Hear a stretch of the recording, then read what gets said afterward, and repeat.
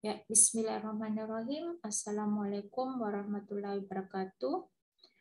Nah, perkenalkan nama saya Ibu Sukmawati diamanahkan oleh penanggung jawab eh, PKPA Rumah Sakit untuk membawakan materi yang berjudul Pemusnahan dan Penarikan Pengendalian dan Administrasi.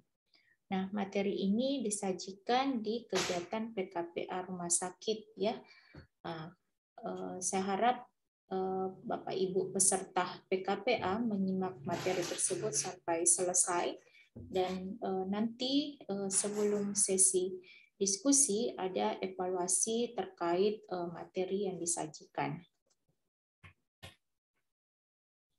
Nah, berdasarkan Peraturan Menteri Kesehatan Republik Indonesia Nomor 72 Tahun 2016 tentang standar pelayanan kefarmasian di rumah sakit, uh, ada dua hal. Yang pertama, pengelolaan sediaan farmasi, alat kesehatan, bahan medis habis pakai. Yang kedua, pelayanan farmasi klinik. Nah, untuk pengelolaan sediaan farmasi, alat kesehatan PMHP, ada beberapa hal yang dibahas. Yang pertama adalah pemilihan, perencanaan, pengadaan, penerimaan, penyimpanan, pendistribusian, dan kali ini akan saya bahas adalah pemusnahan dan penarikan, pengendalian, dan pencatatan. Ya, eh, untuk keenam materi yang di atas, saya kira sudah dijelaskan oleh eh, pemateri sebelumnya. Ya, jadi saya tidak perlu mengulang untuk eh, materi tersebut. Nah, sebelum kita penarikan, Ya, kita harus paham dulu apa sih definisi dari penarikan. Nah, penarikan adalah suatu tindakan menarik suatu sediaan farmasi, alat kesehatan, dan bahan medis habis pakai yang telah diedarkan karena tidak memenuhi persyaratan baik dari khasiat, mutu, keamanan, dan labelnya. Nah, sebelum uh, obat atau sediaan farmasi diedarkan di pasaran harus memenuhi persyaratan yang diatur dalam eh, literatur eh, yang ditetapkan oleh pemerintah. Misalnya saja sediaan obat atau bahan obat, nah eh, harus memenuhi persyaratan yang ada dalam Farmakope Indonesia yang diatur oleh pemerintah. Kemudian untuk obat tradisional persyaratannya harus sesuai dengan materi medika Indonesia.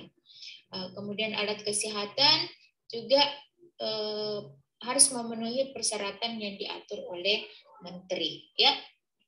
Itu. Kemudian kita masuk pada pembahasan berikutnya. Ya, ada dua jenis penarikan. Yang pertama adalah penarikan wajib, yang kedua adalah penarikan mandiri. Nah, apa sih perbedaannya? Eh, penarikan wajib adalah penarikan yang di eh, apa namanya diinstruksikan oleh Badan POM. Ya, eh, jadi pada Badan POM mengeluarkan surat instruksi penarikan yang ditujukan kepada pemilik izin edar. Nah, Eh, pemilik izin edar ini harus me melakukan penarikan terhadap sediaan farmasinya yang telah diedarkan yang yang yang ada dalam surat instruksi penarikan dari kepada Badan POM. Nah, kemudian kalau penarikan mandiri, penarikan yang diprakarsai atau diinisiasi eh, secara sukarela oleh industri farmasi atau Eh, pemilik SN edar.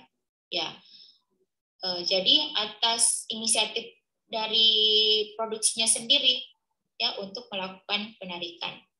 Nah, untuk pelandasan atau alasan penarikannya untuk penarikan wajib biasanya eh, karena ada hasil verifikasi terhadap keluhan masyarakat. Misalnya saja masyarakat mengeluhkan terhadap sediaan farmasi obat yang digunakan eh, yang telah dikonsumsi pasien tersebut ternyata ada keluhan yang merugikan kondisi pada pasien tersebut. Ah, kemudian eh, sarana pelayanan kesehatan memverifikasi eh, hasil hasil keluhan masyarakat tersebut. Jadi kalau misalnya hasil verifikasinya ternyata positif, maka eh, sarana pelayanan kesehatan ini seperti rumah sakit melapor kepada Badan POM. Nah, nanti Badan POM yang akan memverifikasi ulang kalau eh, memang eh, dinyatakan merugikan masyarakat karena hasilnya tidak bermutu atau keamanannya tidak terjamin, maka Badan POM akan mengeluarkan instruksi penarikan ditujukan kepada pemilik izin edar atau industri farmasi. Nah, kemudian alasan yang lain adalah hasil sampling dan pengujian. Jadi setiap setiap waktu eh, Badan POM atau instansi yang lain akan melakukan eh, sampling dan pengujian pada beberapa sediaan yang telah diedarkan. Nah, jadi kalau misalnya dari hasil pengujiannya ternyata ada obat yang tidak memenuhi persyaratan, khasiat, mutu, eh, keamanan dan label, maka harus dilakukan penarikan wajib. Nah, kemudian ada temuan hasil inspeksi dari Badan POM eh, pada sarana pelayanan misalnya di rumah sakit. Dari hasil inspeksinya ternyata juga ditemukan eh, sediaan farmasi yang tidak memenuhi persyaratan, ya wajib dilakukan penarikan. Ah, kemudian ada hasil kajian dari beberapa peneliti, baik yang ada di eh, akademisi ataupun dari industri, ternyata hasil penelitiannya atau kajiannya itu menunjukkan obat menjadi obatnya tidak aman dikonsumsi atau obatnya tidak berhasiat, maka eh, dilaporkan kepada Badan POM dan Badan POM yang akan mengeluarkan instruksi penarikan. Eh, sedangkan untuk yang mandiri karena diprakarasai oleh eh, pemilik izin edar, maka eh, alasan penarikannya karena karena dia mendeteksi resiko resiko yang ditimbulkan dari sediaan farmasi yang diedarkan. Ya. Jadi dia mendeteksi sendiri. Maka oh uh, obat yang diedarkan ternyata tidak aman, tidak berhasiat, uh, tidak bermutu dan tidak sesuai dengan persyaratan pelabelan, maka uh, industri farmasinya bisa mengajukan untuk melakukan penarikan secara mandiri. Ya, ya baik. Berikut prosedur penarikan. Nah, tadi sudah dijelaskan penarikan wajib dan penarikan mandiri.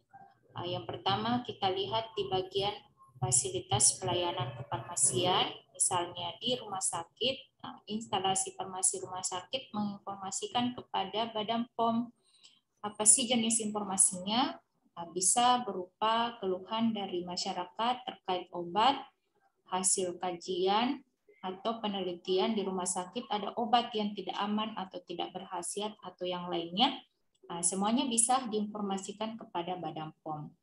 Nah, selanjutnya, Badan POM akan memverifikasi kembali informasi yang didapatkan dari rumah sakit tersebut.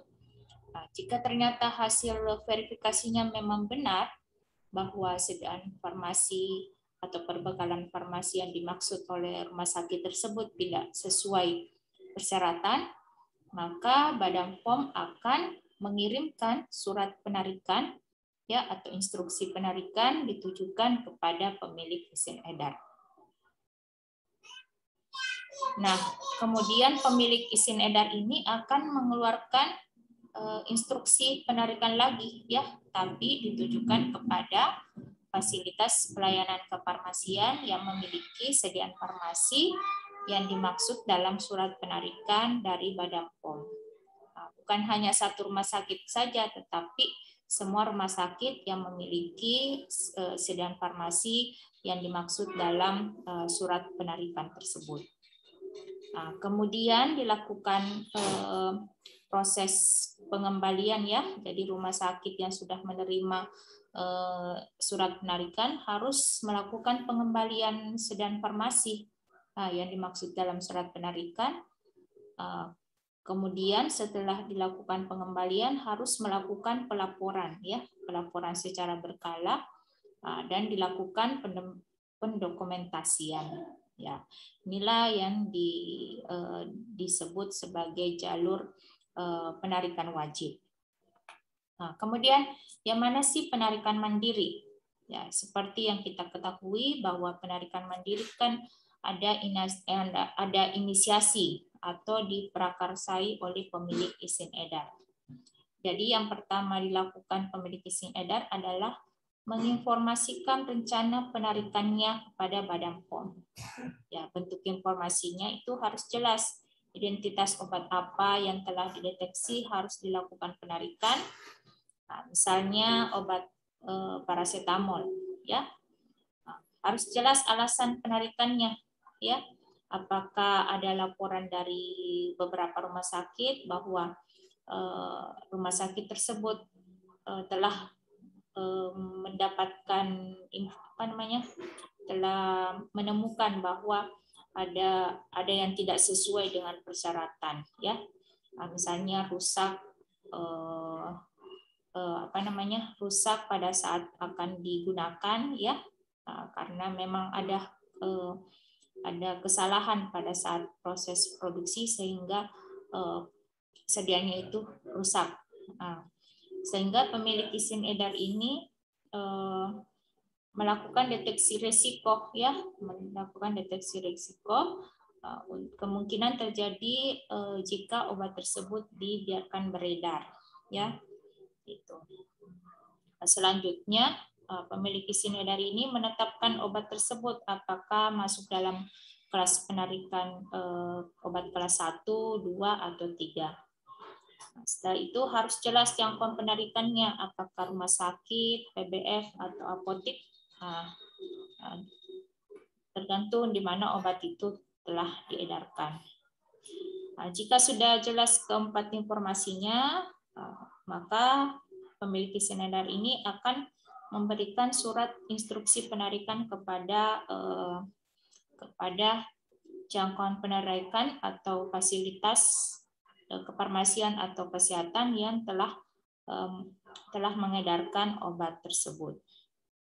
Nah, kemudian eh, pelayanan kefarmasian yang telah melakukan eh, pengembalian obat yang telah ditarik ya akan melakukan pelaporan lagi. Seperti itu ya. Jadi dapat disimpulkan bahwa tugas rumah sakit dalam penarikan yang pertama, memberikan informasi kepada Badan POM atau pemilik izin edar nah, jika ada perbekalan farmasi yang sudah tidak memenuhi persyaratan, eh, baik itu mutu, khasiat, eh, keamanan dan label, ya, nah, terutama untuk obat-obat yang masuk dalam kelas ke-1. Nah, karena obat tersebut itu menyebabkan eh, kematian atau cacat permanen, ya. Jadi rumah sakit harus segera memberikan informasi. Kemudian yang kedua mengembalikan ya mengembalikan perbekalan farmasi eh, yang dimaksud dalam surat penarikan ya. Jadi kalau rumah sakit tersebut sudah mendapatkan instruksi penarikan ter, terhadap perbekalan farmasi yang sudah tidak memenuhi persyaratan, maka tugas rumah sakit harus mengembalikan perbekalan farmasi tersebut. Ah, kemudian tugas eh, berikutnya yaitu membuat laporan ya, membuat laporan terkait perbekalan farmasi yang telah dilakukan penarikan. Ya, jadi setelah dilakukan pengembalian, maka harus dibuat pelaporan karena isi laporan dari rumah sakit itu menjadi dasar laporan eh, pemilik izin edar kepada Badan POM ya karena ada beberapa yang harus mereka laporkan apakah masih ada produk yang eh, masih beredar ya belum ditarik jadi harus eh, rumah sakit itu harus bekerja sama ya bekerja sama dengan pemilik izin edar untuk membuat pelaporannya. Kemudian yang keempat, eh, membantu menyebarluaskan informasi, ya, membantu menyebarkan menyebarluaskan informasi terkait perbekalan farmasi yang telah ditarik.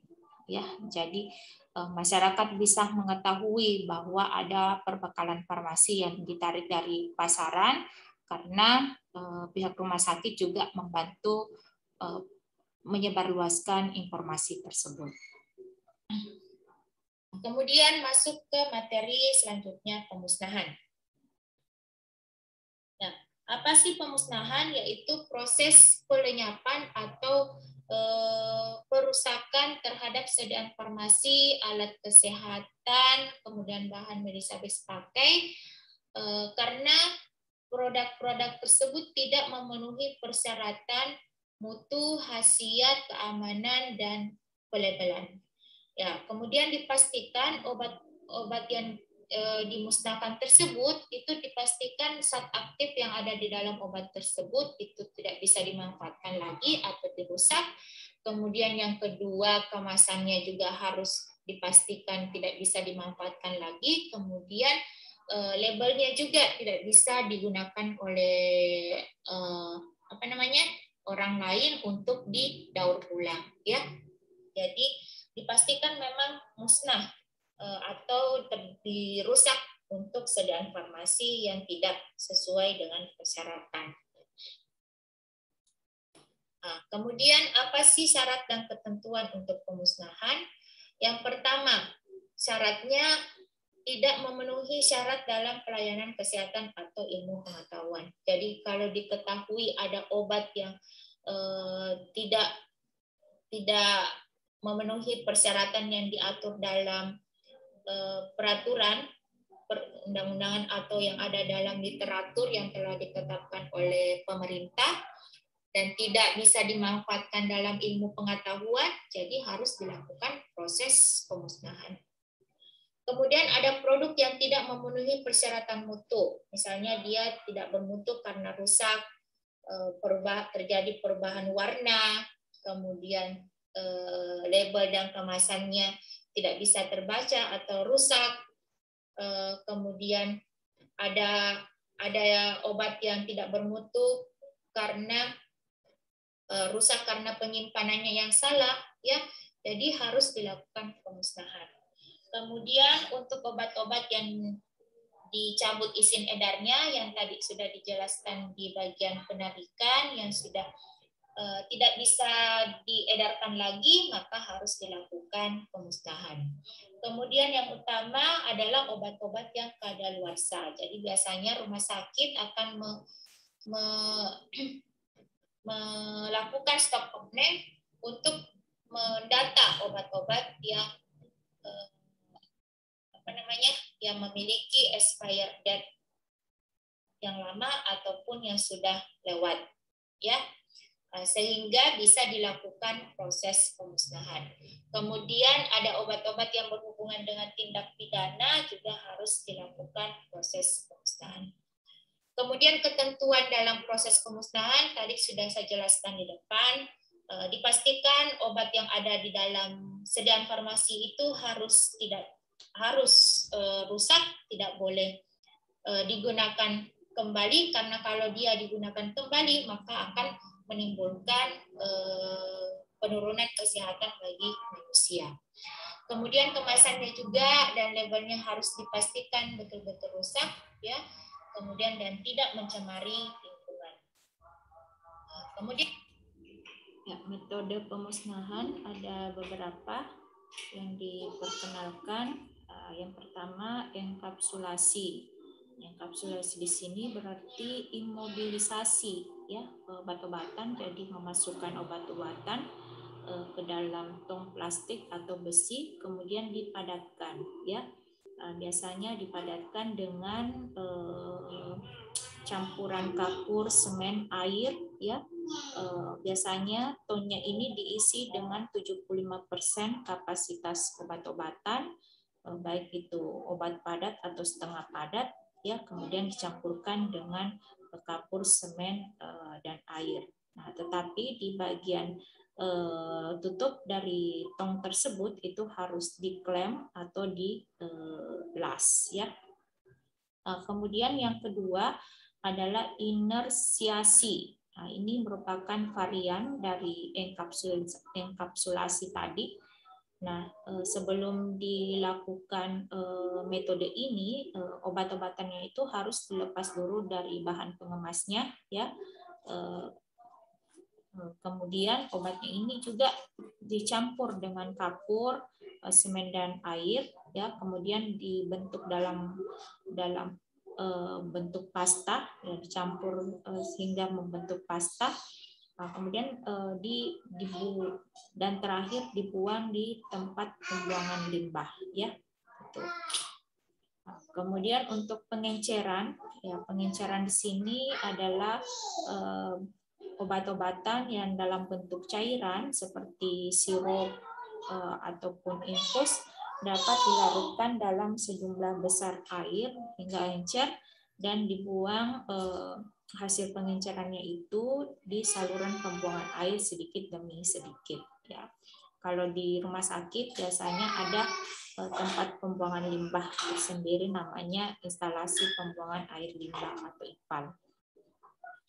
Nah, kemudian untuk berikutnya adalah insinerasi suhu tinggi ya Eh, menggunakan alat insinerator. Nah, eh, untuk eh, insinerator suhu minimal 850 derajat Celcius dengan retensi pembakaran sekitar 2 detik itu dapat memusnahkan obat-obatan padat ya. Kemudian untuk suhu 1200 sampai 1400-an ya itu sangat eh, baik atau sangat memadai dan sangat efektif untuk pemusnahan obat-obatan. Eh, kemudian eh, dekomposisi kimiawi, ya dekomposisi kimiawi di sini menggunakan reaksi reaksi tertentu, ya inaktif inaktivasi menggunakan metode ini itu sangat mahal lama dan berat serta membutuhkan eh, persediaan reaksi dalam jumlah yang banyak dan eh, waktunya panjang untuk untuk proses tersebut. Nah, kemudian harus ada ahli kimia dan farmasis serta membutuhkan peralatan khusus. Ya, berikutnya cara pemusnahan pada beberapa sediaan. Nah, untuk sediaan padat seperti tablet, kaplet, kapsul, dan supositoria harus dikeluarkan dulu dari kemasan aslinya atau dari kemasan primernya. Nah, selanjutnya sediaan tersebut itu dihancurkan dan dicampur dengan bahan limbah lainnya sehingga tidak dapat digunakan kembali dan dipastikan bahwa partikel debu setelah dihancurkan itu tidak eh, terlepas di udara. Nah, kemudian untuk eh, kemasan primernya yang sudah disobek ataupun dicaca itu di dibuang di tempat pembuangan sampah non medis, tapi ada persyaratan bahwa tiap harinya itu tidak boleh melebihi satu persen dari limbah rumah tangga.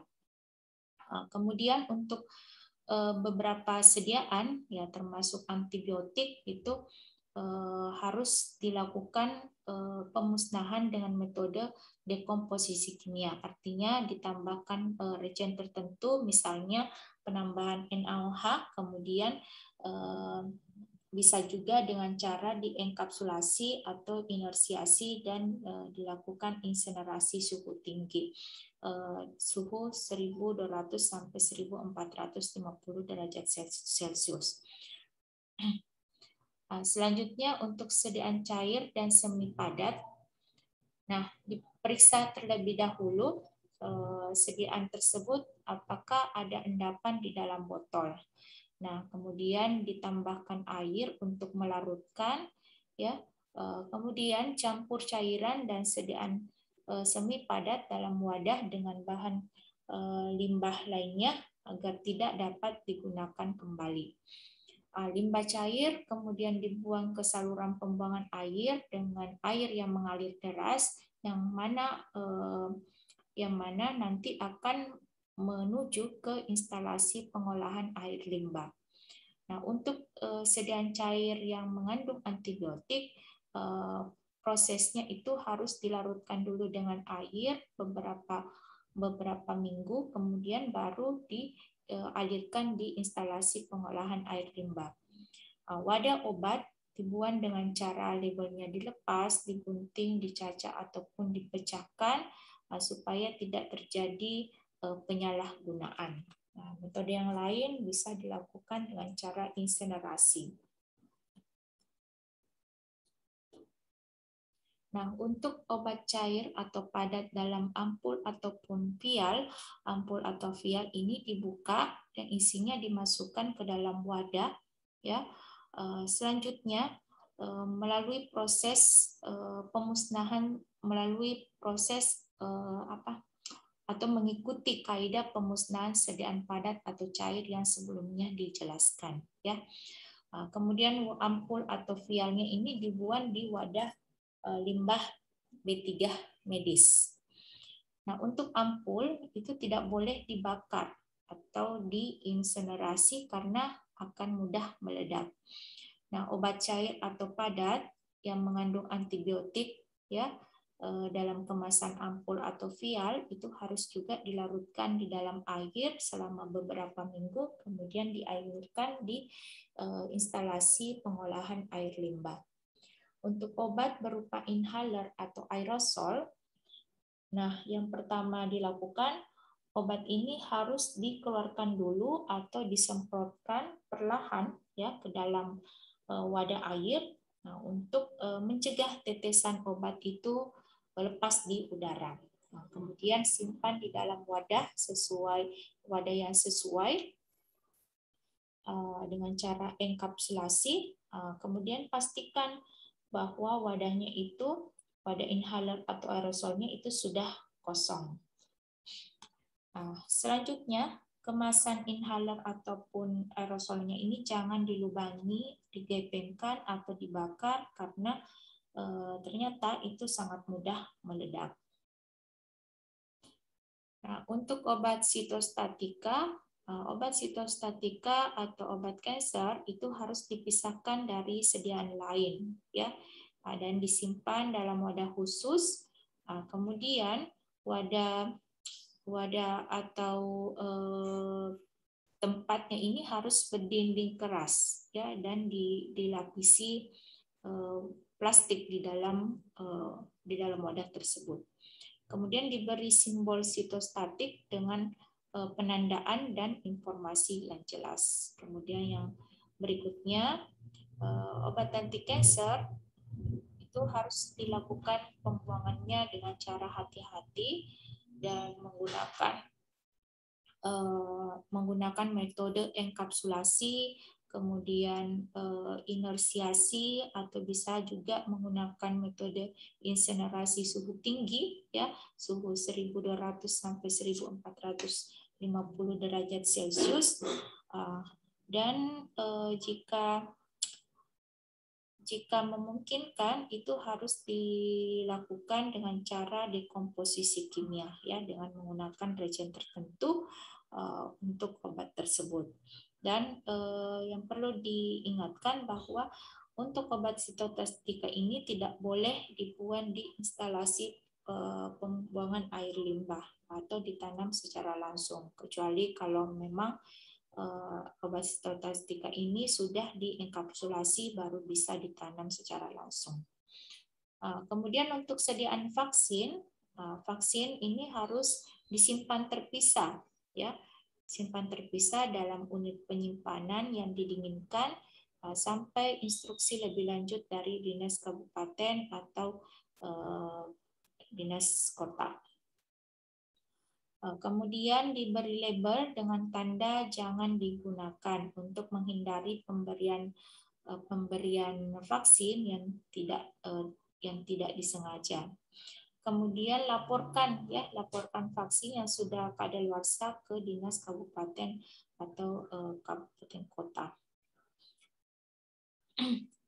Nah, selain untuk obat dalam benda tajam, misalnya insulin, insulin uh, limbah benda tajam ini dikumpulkan uh, baik yang sudah terkontaminasi ataupun tidak kemudian isi obat itu dikeluarkan ya mengikuti uh, kaidah pemusnahan uh, sediaan padat atau cair ya uh, seperti yang dijelaskan sebelumnya tempatkan pada kontainer yang tidak tembus untuk limbah benda, tajam, sedangkan untuk limbah lainnya itu ditempatkan dalam kantong plastik. Ya, jadi untuk untuk needle-nya itu harus dibuang pada uh, wadah yang tidak tembus untuk limbah benda tajam. Tapi kalau untuk uh, spoitnya ya atau uh, apa namanya tempat obatnya itu bisa dibuang pada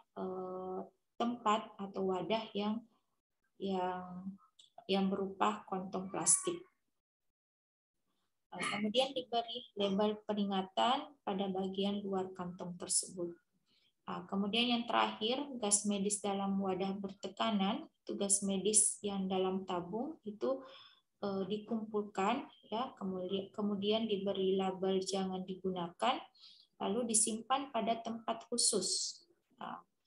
Eh, perlu diingat bahwa beberapa gas medis itu tidak memiliki expired date, tetapi tabungnya memiliki masa eh, penggunaan. Dan seluruh tabung eh, yang sudah dikeluarkan isinya itu harus dikembalikan ke produsen.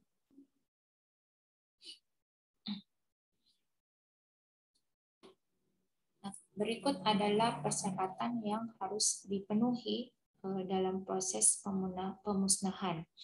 Untuk pemusnahan narkotika, psikotropika, dan prekursor eh, dilakukan oleh apoteker dan disaksikan oleh Dinas Kesehatan Kabupaten atau Kota dan atau Balai Besar Balai Pengawas Obat dan Makanan setempat. Jadi untuk saksinya itu bisa salah satu dari Dinas Kesehatan Kabupaten Kota atau balai besar ya Eh, balai pengawas obat dan makanan setempat atau bisa juga kedua dari instansi tersebut itu menghadiri eh, menghadiri acara pemusnahan.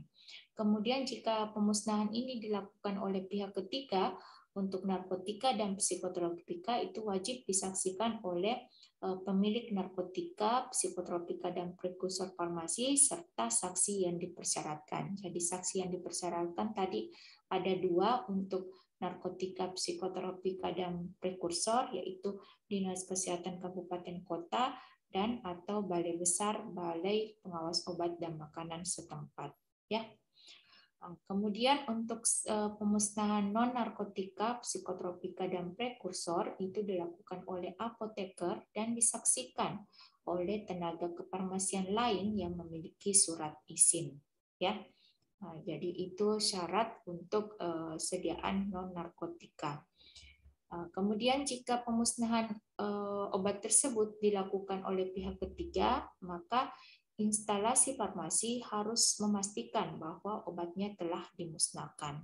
Ya, jadi tidak perlu menghadirkan saksi seperti yang dipersyaratkan, tetapi instalasi farmasi yang memiliki memiliki obat yang dimusnahkan oleh pihak ketiga itu harus memastikan bahwa obatnya memang telah dimusnahkan. Biasanya di, dibuatkan e, berita acara berita acara itu yang wajib kemudian disertai dengan e, dokumentasi apakah dia berupa foto atau video acara e, pemusnahan. Berikut adalah tahapan pemusnahan untuk non-narkotika, psikotropika, dan prekursor. Jadi pertama, eh, penanggung jawab instalasi farmasi rumah sakit membuat daftar obat yang akan dimusnahkan. Nah, biasanya data-data obat yang dimusnahkan itu diperoleh dari daftar stok of name yang dilakukan di rumah sakit tersebut. Di data mana obat yang kadaluarsa, mana obat yang rusak. Eh, kemudian menyiapkan berita acara pemusnahan yang nantinya akan ditandatangani eh, oleh saksi setelah dilakukan pemusnahan. Kemudian mengkoordinasikan jadwalnya, kapan saksinya bersedia, ya, eh, kapan harinya, tanggalnya, kemudian metode pemusnahannya seperti apa sesuai dengan jenis dan bentuk sediaannya. Kemudian ditentukan lokasi pemusnahannya di mana. Setelah selesai semuanya, maka disiapkanlah tempat pemusnahannya pada hari H pemusnahan. Nah, kemudian dilakukanlah pemusnahan sesuai dengan jenis dan bentuk sediaan serta peraturan yang berlaku. Nah, berikut adalah berita acara pemusnahan untuk obat non-narkotika eh, dan prekursor serta eh, psikotropika. Ya, jadi untuk obat-obat yang sudah kadaluarsa ataupun sudah rusak ya. Jadi seperti ini eh, dituliskan hari ya, kemudian tanggal, bulan dan tahunnya, kemudian nama kepala instalasi farmasi rumah sakitnya siapa, sipanya nomornya berapa, nama rumah sakitnya eh, apa, alamatnya di mana, Nah, kemudian disaksikan oleh siapa? Nah, tadi untuk yang non narkotika dan psikotropika eh, serta prekursor itu disaksikan oleh tenaga kefarmasian yang memiliki surat izin praktek ya. Kemudian eh, kalau dia rumah sakit pemerintah berarti dia harus mengundang dari pihak gubernur. Kemudian eh, ditentukan lokasinya di mana ya tempat dilakukan pemusnahannya. Nah, kemudian setelah berita acara ini selesai ditandatangani, maka akan dikirim ke eh, pihak-pihak tertentu yang dipersyaratkan dalam form tersebut.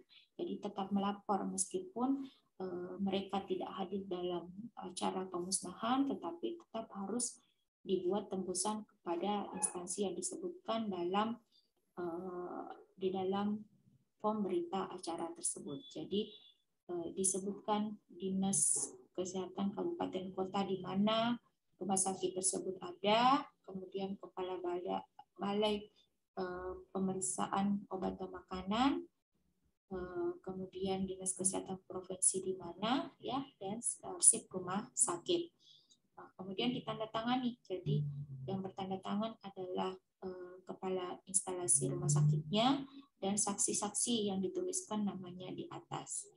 Nah, untuk lampiran keduanya atau lembaran keduanya itu disertakan lampiran daftar obat yang dimusnahkan.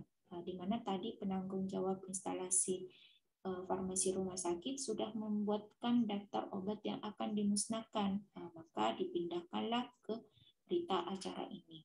Nah, dituliskan nama obatnya ya beserta dengan kekuatannya eh, serta bentuk sediaannya ya. Jadi harus jelas. Misalnya amoksisilin 500 mg tablet. Jumlahnya berapa dituliskan, kemudian alasan pemusnahan apakah dia kadaluarsa ataupun dia rusak. Nah, kemudian tetap ditandatangani meskipun di lembaran depannya itu uh, sudah ditandatangani. Ya. Nah, kemudian untuk pemusnahan narkotika, psikotropika, prekursor farmasi dilakukan dengan tahapan sebagai berikut. Ya, jadi penanggung jawab instalasi farmasi rumah sakit membuat daftar obat narkotika, psikotropika, dan prekursor yang akan dimusnahkan, ya sama yang tadi prosesnya. Ya. Kemudian eh, penanggung jawab instalasi farmasi rumah sakit ini menyampaikan surat pemberitahuan ya atau permohonan saksi kepada Dinas Kesehatan Kabupaten Kota dan atau Balai Besar Balai Pengawas Obat dan Makanan setempat. Jadi dia bermohon supaya eh, kedua instansi ini eh, menghadirkan saksinya dalam proses pemusnahan narkotika, psikotropika, dan prekursor. Eh, selanjutnya, eh, selanjutnya eh, penetapan saksi. Jadi instansi yang sudah dikirimkan surat tersebut mengirimkan mengirimkan saksinya untuk menyaksikan proses pemusnahan. Jadi bisa kedua-duanya atau salah satunya. Kemudian setelah saksinya hadir, maka eh, obat-obat yang dimusnahkan itu harus dilakukan uji organoleptis untuk menguji apakah obat yang dimusnahkan itu benar adanya sesuai dengan daftar yang dibuat oleh penanggung jawab instalasi farmasi rumah sakit. Kemudian membuat berita acara pemusnahan. Jadi dilengkapi berita acara pemusnahannya seperti eh, yang eh, sebelumnya dibuat pada obat non narkotika, psikotropika dan prekursor. Nah, nanti formnya kita lihat eh, setelah ini. Nah, kemudian hari H eh, dilakukan pemusnahan ya sesuai dengan jenis, bentuk sediaan dan peraturan yang berlaku. Kemudian berita acara yang telah dibuat yang sudah ditandatangani dibuat dalam rangkap tiga untuk dikirim kepada pihak-pihak yang disebutkan dalam uh, berita acara tersebut. Uh, kemudian laporannya itu uh, dilengkapi dengan berita acara pemusnahan serta dokumentasi. Jadi sebaiknya ada video ataupun uh, foto dilakukan Eh, proses pemusnahan. Ya, jadi laporan terakhir dari narkotika, psikotropika dan prekursor kepada pihak eh, kepada pihak rumah sakit ataupun kepada pihak yang ada dalam tembusan BAP itu ya, disertakan disertakan berita acara pemusnahannya serta dokumentasinya. Ini adalah berita acara pemusnahan narkotika, jadi dituliskan hari, tanggal, bulan, dan tahun akan dilakukan pemusnahan narkotika tersebut. Kemudian dituliskan nomor dan tahun Permenkes yang mengatur tentang uh, pemusnahan narkotika. Kemudian ditulis nama nama uh, instalasi farmasi rumah sakitnya, Eh, yang menjadi penanggung jawab ya. Eh, kemudian sifatnya berapa, nama sarananya apa, kemudian alamatnya di mana. Eh, kemudian dituliskan saksi yang hadir. Ya, jadi saksi yang tadi sudah ditentukan atau yang diminta dalam persyaratan, maka dituliskan namanya di dalam berita acara tersebut. Selanjutnya dilakukan pada pukul berapa, ya, kemudian di mana lokasinya, kemudian metode pemusnahannya seperti apa. Ah, kemudian dibuat berita acara empat rangkap dan dikirim pada pihak yang disebutkan dalam berita acara tersebut. Ah, selanjutnya, selanjutnya ada eh, penandatanganan.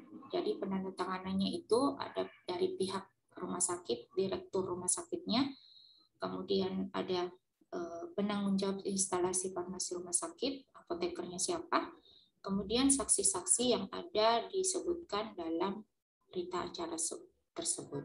Jadi mereka harus bertanda tangan.